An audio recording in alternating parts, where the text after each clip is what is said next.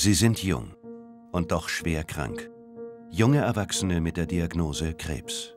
Das ist ja letztendlich das finale CT und wo sich entscheidet, ob jetzt auch die Bestrahlung angeschlagen hat, ob der Tumor nun wirklich vernichtet wurde und schon wahnsinnig große Angst. Lisa hat Lymphdrüsenkrebs. Sie wurde operiert, bestrahlt, erhielt Chemotherapie. Ein halbes Jahr ist das jetzt her. Vor der ersten Nachkontrolle steigt Panik auf. Ich einfach ganz furchtbare Angst habe, dass da wieder. Die hat wieder einen Hustenreiz, den ich beim ersten Mal auch hatte. Ach so, wegen dem Hustenreiz haben Sie Angst, dass ich, das ist. Das war ja vor der Bestrahlung auch noch ein Resttumor zu sehen. Julian weiß seit zwei Jahren, dass er gegen einen aggressiven Knochenkrebs in seiner Wirbelsäule kämpfen muss.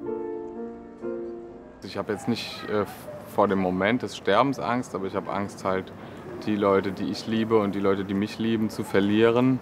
Äh, das ist sicherlich die größte Angst, die mitschwimmt. Natürlich auch so ein bisschen vor dem Moment, dass mir irgendwann mal jemand mitteilt, sie haben jetzt noch x Monate zu leben, also so eine genaue Zahl zu haben. Da habe ich auch Angst vor. Carolina erkrankt mit 16 an einem Gehirntumor. Sie wird operiert, doch der Krebs kommt wieder. Sie wird wieder operiert und auch bestrahlt und sie weiß inzwischen, dass eine Heilung ungewiss bleibt. Vor drei Jahren hätte ich es auch nicht geglaubt, dass er nochmal zurückkommt. Ich hoffe es natürlich nicht, aber ich kann es ja nicht wissen. Ich weiß, wenn ich was älter bin, weiß ich, dass er zurückkommen wird und dann aggressiv. Wurde mir ja schon praktisch eine Garantie für gegeben.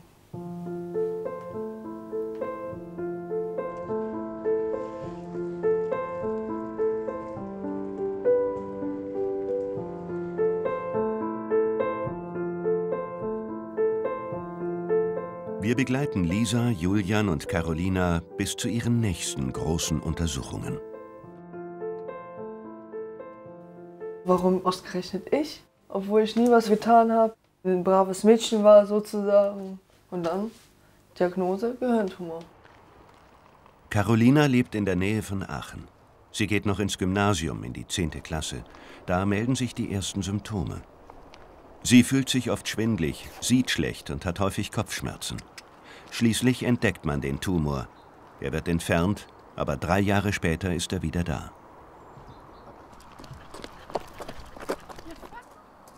Ich habe das jetzt zweimal durchgemacht, bin zweimal durch die Hölle gegangen, habe aber auch viel daraus gelernt. Ich bin jetzt sozusagen ein Mensch, der jetzt zehn Jahre weiser ist als sonst alle in meinem Alter. Ich bin ja 20 Jahre alt und ich denke, das hat mir aber auch viel gezeigt, was wichtig ist und halt, dass ich auf mich selber auch aufpassen muss.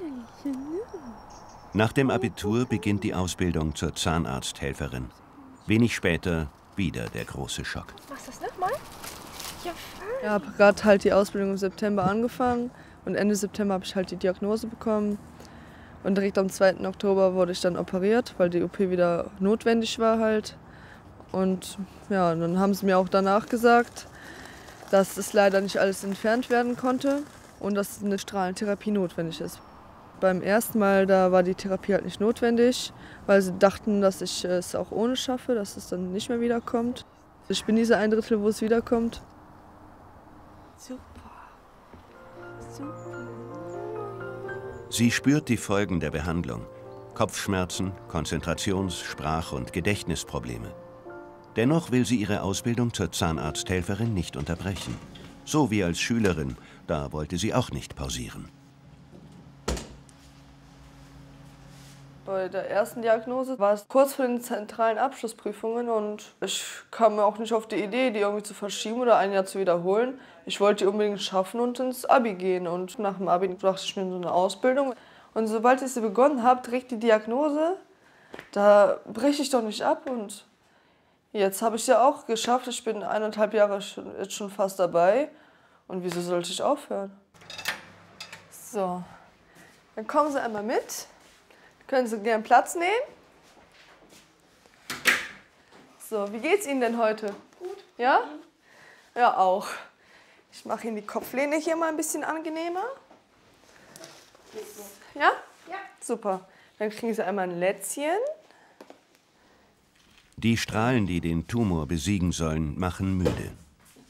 Sie wehrt sich gegen die Erschöpfung.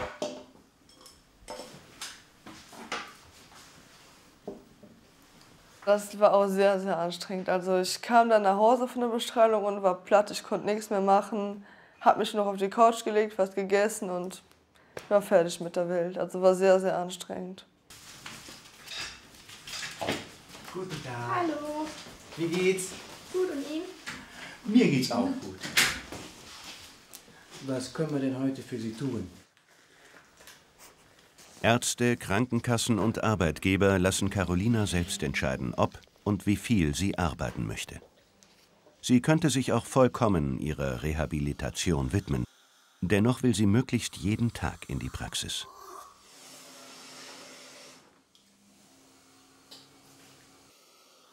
Ich würde sie schildern als sehr, sehr tapferes Mädchen. Es war ein großer Schock für alle. Wir haben ihr das natürlich völlig freigestellt. Wir haben ihr immer angeboten, sobald es dir gut tut, komm vorbei, arbeite eine Stunde, arbeite zwei Stunden. Und ich bin der Meinung, es hat ja auch gut getan. Gerade wenn man dann wahrscheinlich noch ein wenig Ablenkung erfährt von seinen eigenen Krankheiten oder von dieser schweren Krankheit. Das tut mir nicht gut, wenn ich nur zu Hause sitze den ganzen Tag, darüber nachdenke, dass ich krank bin. Und dann wurde ich dann vom Krankentransport hier bei der Arbeit auch abgeholt und die haben mich dann halt zum Klinikum gefahren für die Therapie. Endlich. Super. Bitte eine Stunde nichts essen. Sollte noch was stören, dann können Sie natürlich jederzeit wiederkommen. Okay. Und dann wünsche ich Ihnen noch einen schönen Tag. Auch. Dann machen wir noch einen Termin, Genau. Tschüss. Hier in der Praxis sind mir die ersten Haare ausgefallen. Das war für mich wie ein Schlag ins Gesicht. Dann bin ich direkt nach hinten gerannt, habe meine Mutter geschrieben, sie mich abholen kommen. Und, und sobald ich hier raus war, war ich nur am Heulen. Leipzig. Lisa in unbeschwerten Tagen. Sie ist kurz vor dem Abschluss ihres Studiums. Die ersten Anzeichen ihrer Krankheit, häufiges Husten, Gewichtsverlust und Müdigkeit, nimmt sie kaum wahr. Die 26-Jährige wohnt mit ihrem Freund Oliver zusammen. Gemeinsam erinnern sie sich an die Zeit vor der Diagnose. Auf den Urlaubsbildern aus dem Sommer vor einem Jahr ist nicht zu erkennen, dass Lisa bereits todkrank ist. Da war echt eine traumhaft schöne, märchenhafte Stimmung, ne? Ja, wie so oft wie eine Prozesse mit den Haaren so. Das dauert wohl eine Weile wieder, bis man solch eine Frisur machen kann.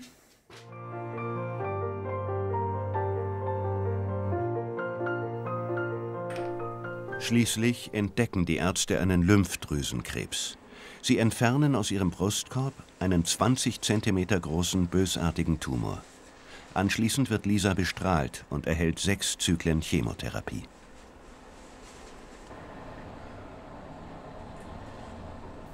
Man fühlt sich wie von innen vergiftet durch diese Chemotherapie. Also es ist ein Gefühl, was ich davor noch nie erlebt habe. Ganz unschön, die Knochen schmerzen und von innen heraus fühlt man sich einfach ganz schlecht. Ich wollte irgendwie kaum Besuch von Freunden im Krankenhaus haben, weil ich auch irgendwie nicht wollte, dass sie mich so sehen. Und ich habe ja dann relativ schnell nach der ersten Chemotherapie auch meine Haare verloren und auch meine Augenbrauen, meine Wimpern und sah einfach so wahnsinnig krank aus. Vor drei Monaten endete die Behandlung. Noch hat sie kein finales Ergebnis. Hat die Therapie wirklich angeschlagen? Ist der Tumor vollständig vernichtet? Kann es sein, dass er wiederkehrt? Ja, die Diagnose hat mein Leben komplett auf den Kopf gestellt. Es war schließlich eine Diagnose von heute auf morgen, ohne Vorwarnung oder jegliches. Äh, eigentlich ja nur ein Zufallsbefund. Und eigentlich stand ich mitten im Staatsexamen, war kurz ähm, vor meinen ersten mündlichen Prüfungen und lag plötzlich auf der onkologischen Station. Und auf einmal war alles anders. Habe eigentlich an nichts anderes mehr denken können in den ersten Wochen und wollte auch gar an nichts anderes mehr denken. Habe eigentlich nur noch letztendlich die Wand angestarrt, war völlig blockiert von meiner Angst. War eine Todesangst, eben einfach Angst zu sterben. War schwierig. War sehr, sehr bescheiden. Und, äh, sie sagte, sie hat gerade gesagt, sie hat sich verändert. In dem Punkt, das war am Anfang war sicherlich so, dass, was quasi sehr, wie sie beschrieben hat, gelähmt vor Angst. Aber besonders früh hat er eigentlich nur neben ihr gesessen und ihr, äh, ihre Hand gehalten. Ohne ihn an meiner Seite hätte ich das Ganze niemals durchgestanden und hätte gar keinen Lebenswillen mehr gehabt. Wenn, wenn ich ängstlich war, hat er mir die Angst genommen. Wenn ich mir irgendwelche Sorgen gemacht habe, ähm, war es nach einem Gespräch mit ihm gleich, sah es immer gleich viel besser aus und ich war wieder beruhigter und er hat mir wirklich die Kraft gegeben zu glauben, dass das irgendwie alles wird, dass wir das alles hinkriegen und äh, dass es auch ein Leben nach der Krankheit geben wird und dass wir diese Krankheit zusammen besiegen werden. Seit dem Ende der Chemotherapie baut sie wieder Kraft auf.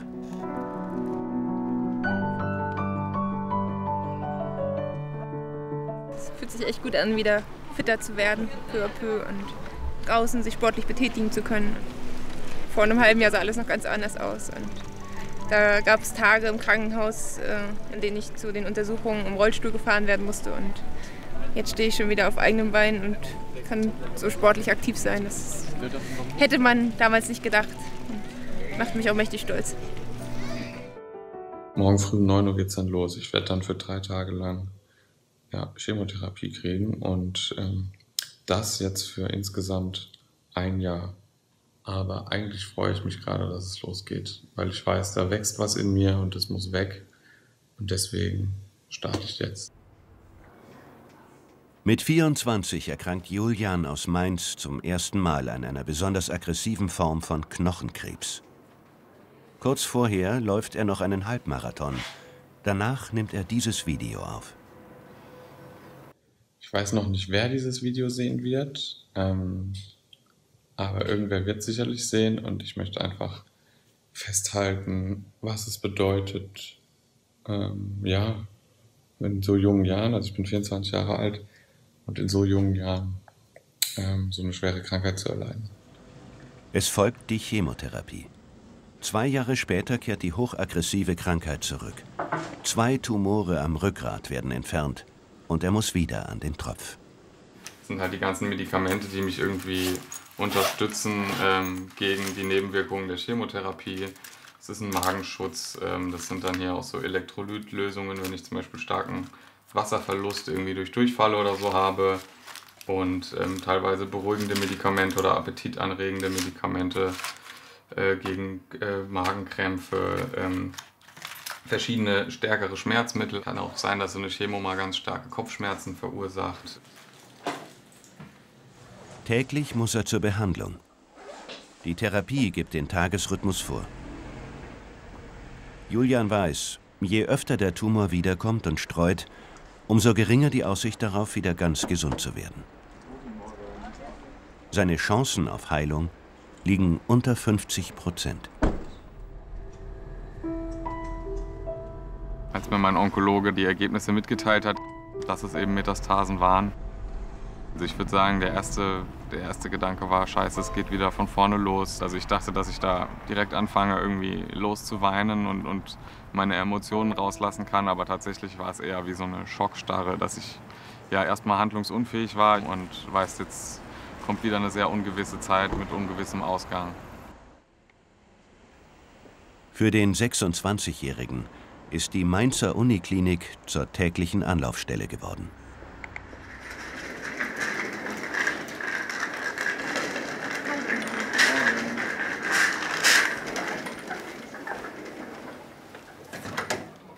Übelkeit ist besser geworden? Ja, gestern Abend war es mir schon ziemlich schlecht, Okay. aber jetzt heute Morgen geht's. Hast du noch mal was eingenommen? Nee, ganz gut. Sehr schön. Soweit.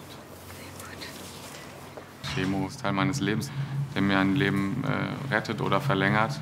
Und ähm, dementsprechend habe ich da eigentlich sehr gut mit, mit so abgeschlossen, dass das ja, dazu gehört. Ja, perfekt. Wie mein Cortison läuft dann eine Viertelstunde. Natürlich habe ich mich gefragt, ist das jetzt irgendwie so eine Schicksalssache oder, oder was von Gott? Ich selber bin jetzt nicht gläubig, ich bin aber auch kein Atheist, mich da irgendwo dazwischen ansiedeln. Ich habe das wirklich sehr schnell abgetan als Laune der Natur. Ich möchte mich mit der Frage nicht beschäftigen. Ich akzeptiere das, dass das so ist und dass dann niemand anderes was für kann. Die Klinik ist für heute überstanden. Und wie so oft trifft er zur Mittagspause seine Freundin. Julia arbeitet in einem Verlagshaus. Wenn ich merke, ihm geht schlecht oder so, das würde ich in jeder anderen Beziehung auch machen, dann versuche ich für ihn da zu sein. Und ja, also deswegen so viel, ich weiß nicht, was mich dann so motiviert, das so zu machen. Das sind, glaube ich, Gefühle und es ist auch einfach schön, wenn es ihm dann wieder gut geht. Und ja, so mache ich das dann.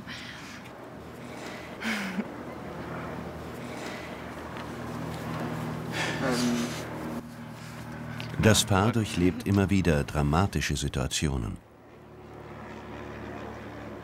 Da hatte ich ja sehr starkes Fieber, ähm, habe äh, sehr starke Nebenwirkungen gehabt, teilweise halluziniert und da hatten wir beide ein bisschen Angst, dass ich den Tag da nicht überlebe, wenn man ehrlich ist. Ähm, und da hat sie mich schon krass durchgebracht. Also ich war, war psychisch wirklich am Ende, hatte Herzrasen, Angstzustände und da hat sie immer wieder gesagt, hier, es wird wieder, du, du ähm, kommst jetzt gleich auf Station, dein Fieber wird senken und dann äh, wird es dir wieder besser gehen und so.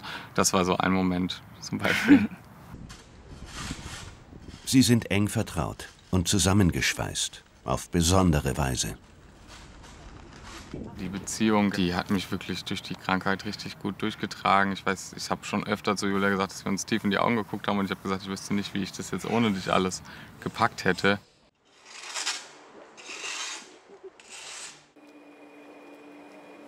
Hallo. Ich hätte gern zwei Bällchen in der Waffel, Erdbeer und einmal Joghurt Holunder. Holunder, Minze. Ich Es ist ja trotzdem unbeschwert und schön, vielleicht sogar ein Stück weit noch unbeschwerter, weil ich noch dankbarer bin, dass ich gerade am Leben bin. So, was ich vorher, da hatte ich überhaupt kein Bewusstsein für. Ne? Man macht sich ja vorher keine Gedanken um sein eigenes Sein und seine Existenz. Das sind Fragen, die sich ein Anfang 20-Jähriger, glaube ich, selten stellt. Chemo- und Strahlentherapien stören das Wachstum der Zellen, nicht nur im Tumor. Sie beeinflussen das gesamte Aussehen, die Haut und sie wirken oft auf das Haarwachstum. Das war eigentlich wirklich das Schlimmste an der Therapie für mich, dass meine Haare ausgefallen sind, mehr als es eigentlich sollte. Und ich bin froh, dass ich mir doch eine ganze Perücke geholt habe und nicht so eine Teilperücke, weil mir sind ja doch vorne alle Haare weggefallen. Und das war eigentlich sehr belastend für mich, weil ich mich gar nicht so kenne. Meine Haare sind für mich schon immer mein Heiligtum gewesen. Da lag ich eigentlich abends immer nur im Bett und habe vor mich hingeweint. Ja, aber mittlerweile habe ich es akzeptiert, dass sie weg sind und ab neue kommen. Und jetzt habe ich totale Locken und dunklere Haare. Finde ich total komisch. Aber finde ich aber auch nicht so gut. Ich hätte gerne meine glatten Haare wieder.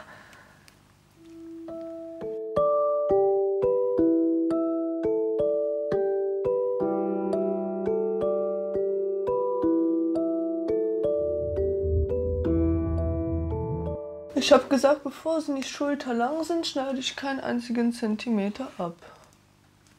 Ja. Ja, meine langen Haare vorher. Ich Das, das sieht man einfach, wie lang die waren. Mhm. Das ist normal. Du hattest das einfach aus wie eine Prinzessin. Ja, ich bin froh, dass ich diese Perücke nicht mehr tragen muss. Lea, Carolinas beste Freundin, ist vorbeigekommen. So. Guck dir mal meine Haare an früher. Du bist trotzdem noch wunderschön. Äh, nicht so. Doch. Das war echt heftig, wo ich jeden Tag gestaubsaugt habe in meinem Zimmer, Mhm. wenn über deine Haare auf meinem Boden waren.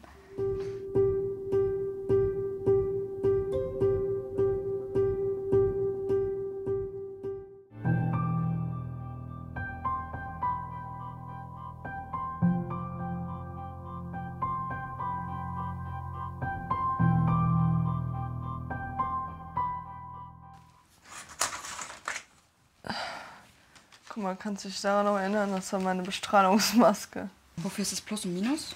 Damit die wissen, wie die das ansetzen. So, Ach so. denke ich Okay. mal. Ja. Aber da will ich nie wieder anziehen müssen. Nee. Ich hoffe es für dich. Ja, ich auch. An einem Abend kam sie zu mir und ähm, sie hatte ihre Untersuchung, das hatte sie mir erzählt. Und dann meinte sie zu mir so, ja, ich glaube, ich habe wieder Krebs. Sie haben angerufen. Normalerweise rufen die nicht an. Am nächsten Tag, ich habe ihr geschrieben, ich bekam die ganze Zeit keine Antwort. Also das hat mich schon so ein bisschen verwirrt, so irgendwas muss da sein. Da hat sie einfach nur geschrieben, Tumor. Ich kam gar nicht mehr an sie ran, überhaupt nicht mehr. auch tagelang nicht. Also äh, sie hat mir nicht mehr zurückgeschrieben. Keine Ahnung, also es war halt einfach kein gutes Gefühl, kein schönes Gefühl, dass ähm, eine Freundin so krank ist und so verzweifelt ist in vielen Sachen. Sie war ein Partymädchen, also sie war auf jeder Party, die es hier überhaupt in Aachen gab. Sie kam in einen Raum rein und alle Leute wollten was mit ihr zu tun haben. Sie war sehr aufgeregt, immer. Ich weiß nicht, ähm, sie konnte sich irgendwie mit jedem unterhalten, den sie gar nicht kannte. Und ja, das war Carolina. Carolina auf dem Weg zu ihren Freunden in der Gruppe Jung und Krebs in Aachen.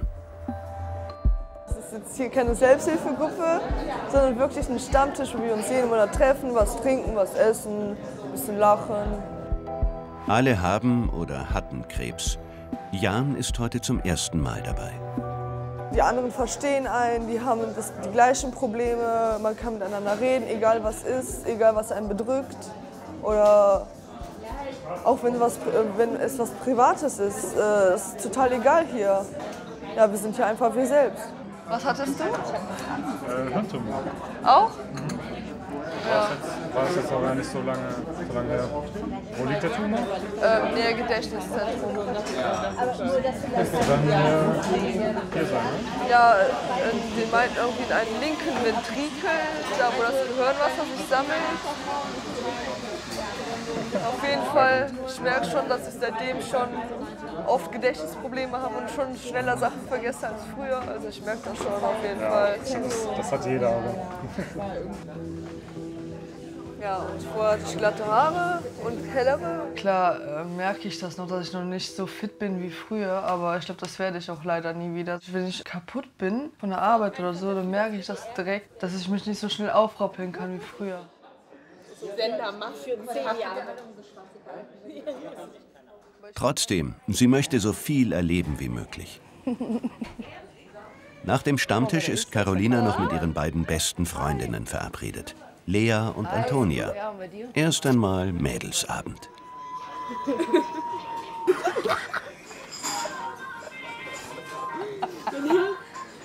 Ja. Das wäre Christian. Nee, das ist äh, Flo aus der Reha. Danach, wie jeden Freitagabend, Treff mit der Clique auf dem Parkplatz. Saufen, Party. Es ist verbraucht, Geld gut investiert. CL 500 ab jetzt wird radiert. Frisch foliert und ich wollte noch mal Danke sagen an alle Fans da draußen. Danke für Krankenwagen. Und jeder hält die Fresse, wenn wir auf die Tanke fahren. Ganz langsam auf die Tanke fahren. Hätte ich jetzt meine Freunde nicht, wüsste ich gar nicht, was ich alles machen sollte, würde ich, glaube ich, im Selbstmitleid versinken. So. Also meine Freunde sind wirklich eigentlich neben meiner Familie das Wichtigste für mich, so an allem. Die geben mir halt Kraft, sind immer für mich da, hören mir zu, mit denen kann man Spaß haben, lachen.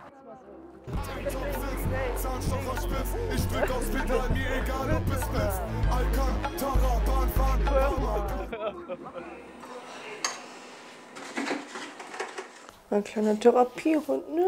Du.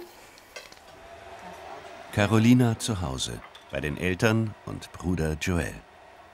Das auch schon? Ja. Ich schätze auf jeden Fall meine Familie viel mehr. Man sollte wirklich froh darum sein, dass man gesund ist. Mein Vater, den hat das ja auch sehr mitgenommen. Meine Mutter war distanziert, so wollte auch es nicht wirklich wahrhaben, dass ich jetzt wieder krank bin. Den feiern wir nach. Dann hast du auch Stück? Warum nicht? Schmeckt dir Nach der ersten OP habe ich ja gesagt, wenn das nochmal kommen sollte, will ich mich nicht operieren lassen. Aber das konnte ich meinen Eltern nicht antun. Lisas großer Wunsch, unbeschwert ausgehen, wie die anderen auch. Ich habe auch die Erfahrung gemacht, dass äh, einige das Thema doch stark ängstigt und sie einfach nicht wissen, wie sie damit umgehen sollen, weil ähm, natürlich keiner damit rechnet, dass äh, eine junge Frau mit 26 plötzlich so schwer erkrankt. Und ja, es war einfach natürlich für alle erstmal ein Schock und ich denke mal, jeder geht damit unterschiedlich um. Aber ich muss sagen, man erkennt nach, in, ja, mit so einer Erkrankung, wer die wahren Freunde sind im Leben und auf wen man sich verlassen kann.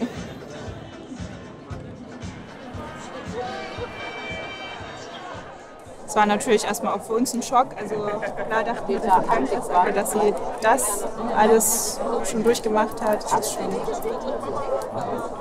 Wir versuchen das aber nicht so wirklich als Thema zu sehen, weil man weiß immer nicht ähm, in einem Augenblick, also wie oft sie solche Augenblicke hat, wo sie mal nicht dran denkt. Und da möchte man nicht unbedingt derjenige sein, der sie auch noch dran erinnert.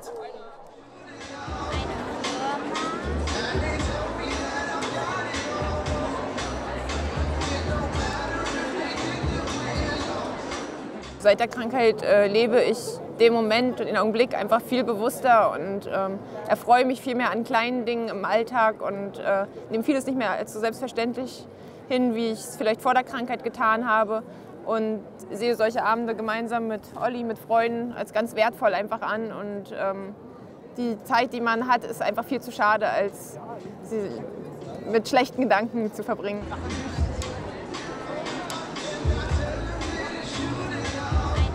Im Moment sind es Tränen der Freude.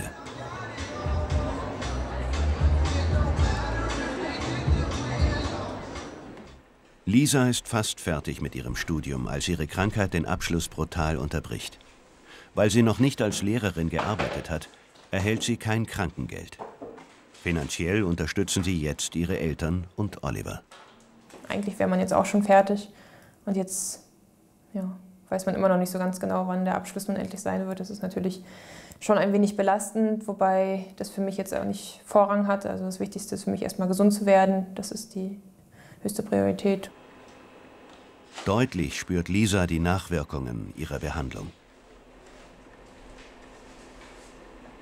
Zurzeit habe ich halt immer noch ein bisschen mit Konzentrationsstörungen durch die Krebstherapie bedingt ähm, zu kämpfen und muss mal schauen, wie das dann mit dem Lernen wird, weil es sind ja doch einige Prüfungen und man wird sehr, sehr viel intensiv lernen müssen in, innerhalb kurzer Zeit. Und ähm, ja, bis vor kurzem fiel es mir noch eben sehr schwer, einfache Freizeitbücher zu lesen, mich darauf zu konzentrieren oder auf längere Filme ähm, ja, zu konzentrieren. Eigentlich will sie Grundschullehrerin werden und mit kleinen Kindern arbeiten. Lange hat sie sich darauf vorbereitet.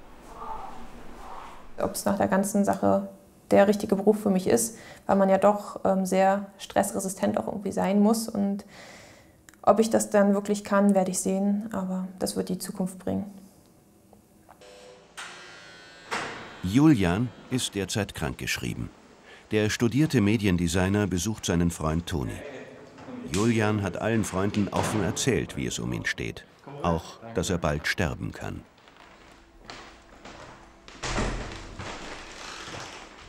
Das ist ein Risiko ähm, medizinisch auf dem Blatt Papier. Das ist äh, von Anfang an klar und bewusst, dass es dabei ist. Aber daran zu denken, ändert nicht die Situation und hilft auch nicht. Ich finde, da ist es wichtig, dass man immer optimistisch bleibt und versucht, egal wie schwierig die Situation ist, äh, davon auszugehen, dass sie gut wird. Toni hat mit Julian zusammen studiert und schreibt die ersten Drehbücher. Gerne liest Julian die neuen Entwürfe, aber er hat nicht die Konzentration und Kraft, selbst zu schreiben. Was denkt Toni über Julians Zukunft? Ich denke, das ist individuell zu beurteilen, aber bei Julian jetzt als äh, speziell hatte ich nie das Gefühl, Gefühl, dass er sich nicht mit seiner Zukunft beschäftigen würde. Ich glaube, gerade das ist für ihn persönlich, aber auch vielleicht allgemein sehr wichtig, dass man immer dabei bleibt und mit der, mit der Zukunft und mit seinen Träumen plant. Allerdings, Julian hat im Moment kaum berufliche Wünsche. Es ist interessant zu sehen, wo die hinwollen und manchmal, also natürlich, ich würde lügen, wenn ich jetzt sagen würde, das macht mir nichts aus, äh, ich vermisse das, dieses Leben gar nicht. Natürlich wünsche ich mir auch manchmal ein bisschen mehr zu planen, aber wie gesagt, es bringt auch seine Vorteile mit sich. Die schwere Krankheit hat Julians Blick auf die eigene Zukunft radikal verändert. Große, weite Ziele haben kaum noch Gewicht. Man hat sich vorher ja schon viel Gedanken darum gemacht, wo will man in ein, zwei Jahren sein oder vielleicht auch in fünf oder zehn. Und davon habe ich mich einfach komplett gelöst und das ist eigentlich auch ein befreiendes Gefühl. Ja, versuchen jeden, jeden Abend äh, glücklich ins Bett zu gehen und das zu erreichen und nicht, was kann ich tun, dass ich in fünf Jahren glücklich ins Bett gehe. Das spielt für mich jetzt keine Rolle. Und zu seinem Glück gehört ganz besonders Julia, die er oft abends von der Arbeit abholt.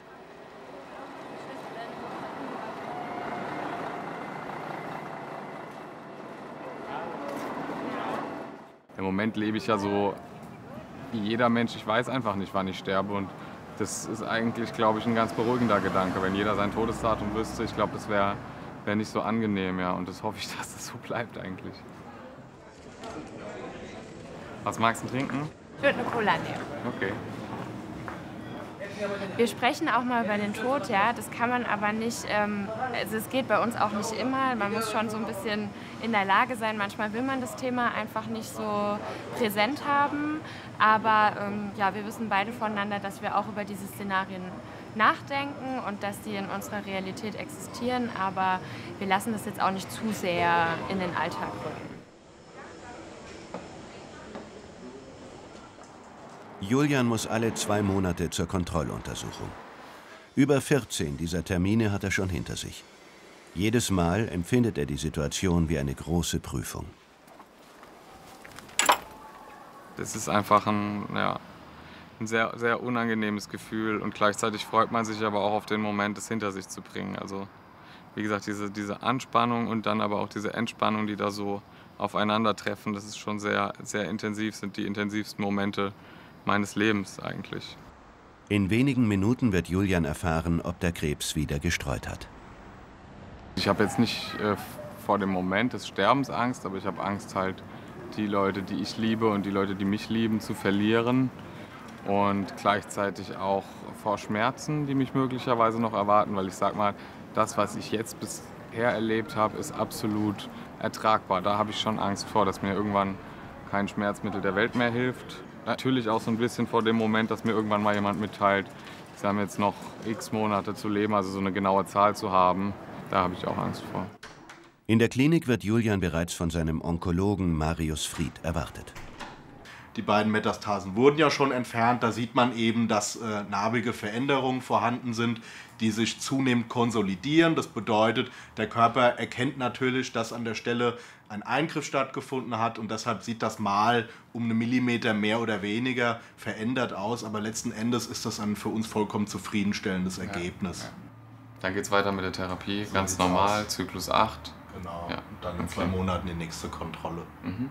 Alles klar. Welch eine gute Nachricht. Kein neuer Tumor. Doch Julian weiß, seine Heilungschancen sind nicht hoch. Und dennoch ist er im Moment sehr glücklich. Wenn man dann eben das Gespräch hat, dass alles gut ist, dann ähm, ja, ist es halt immer wieder so eine kleine Wiedergeburt. Und man hat irgendwie große Erleichterung. Man weiß, man hat jetzt mindestens acht bis zwölf Wochen Ruhe. Und ja, das ist einfach ein schönes Gefühl dann. Lisa und Oliver machen Bilder für Instagram. Das fiel Lisa anfangs nicht leicht. Erst nach Ende ihrer Therapie macht sie ihre Krankheit öffentlich und stellt das erste Bild ohne Haare online. Ich finde, Krebs sollte einfach kein Tabuthema mehr sein und ähm, ja, ich wollte halt damit eben auch anderen Menschen Mut machen, die selber eben eine Glatze haben und äh, dass sie sich nicht verstecken müssen, dass sie rausgehen können, genauso aktiv am Leben teilnehmen können wie vorher, ohne ja, sich verstecken zu müssen. Seither schreibt sie einen Krebsblog. Das sich öffnen hilft ihr, besser mit ihrer Krankheit umgehen zu können. Es tat mir gerade gut, weil ich äh, besonders in der Krankenhauszeit eigentlich fast nur mit älteren Leuten zusammen lag und mir immer gewünscht hätte, dass ich quasi auch äh, jemanden in meinem Alter einfach zum Quatschen hätte und das gab es in der gesamten Zeit einfach nicht.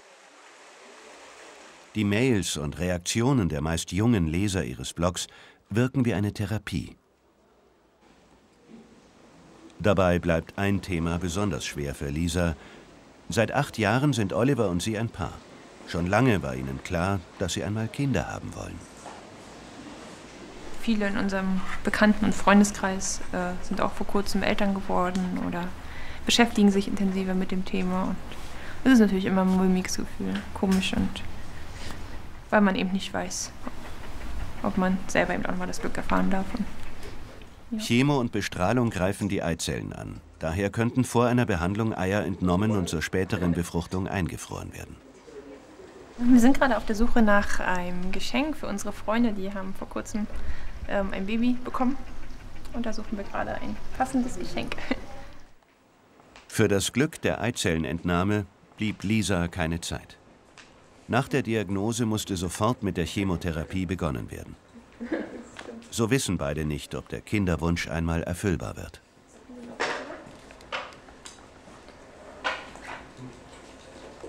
Wir wollten jetzt noch nicht sofort ein Baby haben. Aber äh, jetzt halt man es nicht haben kann, natürlich eine, also nicht haben kann erstmal für fünf Jahre sicher, oder? Fünf? Bist du ganz sicher, dass kein Nachfolgekrebs kommt? Ungefähr drei bis fünf, nächsten Hm. drei Jahre auf jeden Fall. Und noch dann nicht ganz sicher, weil es ist natürlich eine, es ist ein- eine andere Situation, unangenehmer. Jetzt hat man ja nicht mehr, nicht mehr unbedingt die Wahl. Aber wir warten es erstmal ab, vielleicht kommt ja doch alles ganz gut raus bei dem Test. Heute ist der große Kontrolltermin. Heute wird sich zeigen, ob der Tumor wirklich besiegt wurde.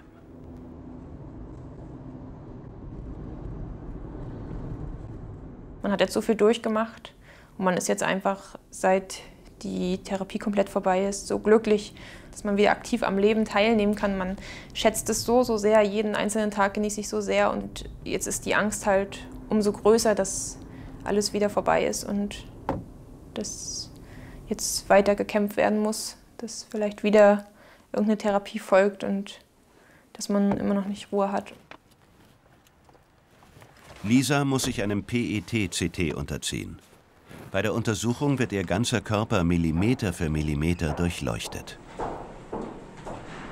Das ist ja letztendlich das finale CT und wo sich entscheidet, ob jetzt auch die Bestrahlung angeschlagen hat, ob der Tumor nun wirklich vernichtet wurde und schon wahnsinnig große Angst, die ich eigentlich die letzten Monate ja gut verdrängt habe, aber doch, weil es letztendlich über meine ganze Zukunft entscheidet, was dabei rauskommt und äh, wie es jetzt weitergeht.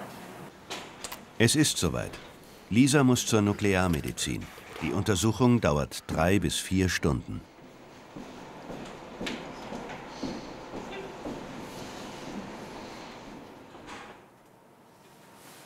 In der Röhre kann man, hat man keine Musik oder kein Handy und nichts, nur diese Geräusche und ist mit seinen Gedanken allein. Also der Part gefällt ihm nicht besonders gut. Und ich kann noch nicht dabei sein, was auch blöd ist, weil da radioaktive Strahlung herrscht. Das heißt, ich bin immer in diesem Wartenzimmer verdammt, bis sie dann wieder rauskommt. Ja, alles geht einem da durch den Kopf und so sind die letzten Jahre dann auch nochmal so an Revue an einem vorbeigezogen und ob man sein Leben überhaupt schon genossen hat in vollen Zügen und, und aber eigentlich war einem ja klar, dass man noch nicht fertig gelebt hat und dass es mit 26 noch nicht vorbei sein sollte. Dietger Niederwieser leitet die Hämatologie und Onkologie an der Uniklinik Leipzig. Überraschend will er heute schon mit Lisa das vorläufige Untersuchungsergebnis besprechen. Das haben Sie sehr gut gemacht mit der Chemotherapie. Ich hoffe, es hat Sie nicht zu sehr belastet. Naja, schön ist anders, aber ich hoffe mit einem guten Ausgang am Ende. Sehr gut. Sie hat seit einigen Tagen wieder mit verschiedenen Symptomen zu kämpfen. Die gleichen wie vor der ersten Diagnose. Weil ich seit einer Woche so einen leichten Hustenreiz im Liegen habe und ich einfach äh, ganz furchtbare Angst habe, dass da wieder... Die hat wieder einen Hustenreiz, was ich beim ersten Mal auch hatte. Ach so, wegen dem Hustenreiz haben Sie jetzt Angst, dass ich, das ist Das war ja vor der Bestrahlung auch noch ein Resttumor zu sehen. Ja, aber da war ein Restbefund. War ganz wenig.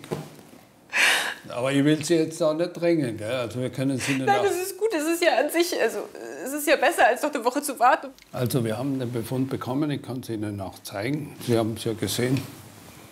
Wir haben da den CT jetzt aufgemacht, also nicht das, was leuchtet. Wir haben aber noch nicht den endgültigen Befund. Und das dauert noch zwei Tage zumindest. Und bis wir dort das ausgemessen haben, auch die Intensität, können wir sagen, dass es weniger geworden ist. Das heißt nicht, dass es weg ist, aber es ist weniger geworden. Und das ist ja mal eine positive Nachricht. Wir müssen dort auch schauen, eben, ob, wie, wie sich das Ganze auf die Dauer verhält. Und dann können wir noch mal einen Termin ausmachen. und Dann. Einverstanden? Einverstanden. Gut, okay. Gute Nachrichten.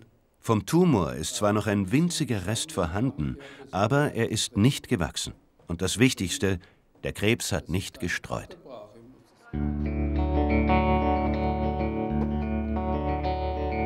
Die Universitätsklinik Aachen. Hier wurde Carolina zweimal ein Hirntumor entfernt. Hier bekam sie ihre Strahlentherapie. Obwohl Carolina schon 20 ist, wird sie weiter auf der Kinderkrebsstation betreut, weil sie schon als 16-Jährige hier behandelt wurde. Heute hat Carolina einen Gesprächstermin bei ihrer Therapeutin Britta Koch. Die Diplompsychologin ist Spezialistin für Kinder und Jugendliche mit Krebs. Können wir machen. Jugendliche, die eigentlich in der Zeit sich vom Elternhaus lösen sollten, die keine Bevormundung und keine enge Betreuung mehr wünschen, sondern die nach außen ins Leben drängen, äh, die Zukunftspläne haben, auch schon genau wissen, wie sie diese umsetzen und eigentlich weg von dieser Abhängigkeit wollen. Und äh, mit der Erkrankung ähm, stürzen wir die eigentlich genau wieder in das Umgekehrte rein. Das heißt, sie, sie regredieren, sie sind von uns abhängig. Das widerspricht eigentlich genau den Bedürfnissen, die Jugendliche in der Zeit haben und wo man auch Rücksicht drauf nehmen muss. Es ist ja heute das erste Mal nach der Reha. Ja. Du hattest immer Kopfschmerzen. Genau, da war ich ja beim Augenarzt. Ja, und dann wurde direkt der MRT gemacht. Am Abend um 11 Uhr spät erfahren, dass ich krank bin. Aus dem Leben gerissen worden. Von einem auf, ein, einen Au- Augenblick auf den anderen bin ich auf einmal krank und denke so, was ist los? Genau, und ich glaube, das macht es das macht's auch so schwierig, Carolina, dass man äh, vom, von einem Augenblick, ohne dass man es spürt und dass es eine gewachsene Sache ist, äh, von sich ganz gesund fühlen bis todkrank sein, ja? wo das Gehirn diese schnellen Wechsel einfach nicht nachvollziehen kann. Normalerweise entwickelt sich eine Erkrankung. Die Perücke war sehr beeindruckend. Also du konntest dich gut dahinter Ja, verstecken. das, das stimmt. Ja. Was wissen wir, das früher mit meinen langen Haaren, das war wirklich mein Ein und Alles, meine Haare. Die haben mir gezeigt, dass es nicht schlimm ist, kurze Haare zu haben oder gar keine Haare. Die Perücke einfach fallen zu lassen, also sozusagen den Vorhang einfach fallen zu lassen. Du hast dich lange Zeit hinter deiner Perücke auch versteckt. Ne? Ja, und dann habe ich endlich wirklich auch die Krankheit akzeptiert. Und vorher war ich immer so, ich will nichts damit zu tun haben. Aber woran merkst du denn, dass du die Krankheit akzeptiert hast? Ich weiß jetzt, dass ich nicht alleine bin. Und ich weiß genau, dass andere Menschen das Mhm. auch durchgemacht haben und die jetzt genauso glücklich sind und halt sich selbst auch akzeptieren. Allein hätte ich es wirklich nicht geschafft, vor allem nicht ohne sie. Mich freut das, mich freut das echt sehr. Carolina hat gelernt, ihren Krebs zu akzeptieren. Und sie weiß, dass er auch wieder zurückkommen kann.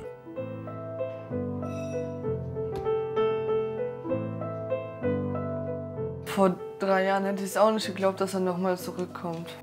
Ich hoffe es natürlich nicht, aber ich kann es ja nicht wissen. Ich denke mir, lieber bin ich jetzt gesund und kann mein Leben noch leben und wenn ich alt bin, da bin ich halt alt. Wenigstens habe ich dann schon alles erlebt, was ich auch erleben wollte.